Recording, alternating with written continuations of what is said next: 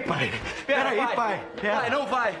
Ô, mãe, eu não quero perder meu pai sem nem sequer conhecer ele direito, mãe. Não seria melhor escutar ele antes, manhã? Pai, não é à toa que isso tá acontecendo justo hoje, depois de tudo que aconteceu. Isso é um sinal de Deus. É pra nossa família entrar Vamos no eixo. parar de falar besteira!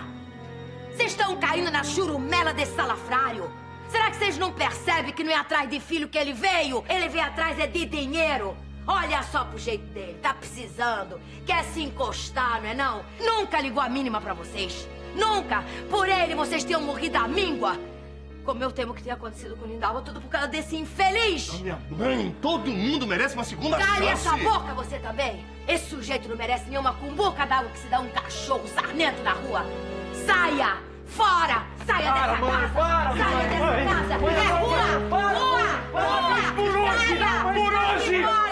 Rua! para,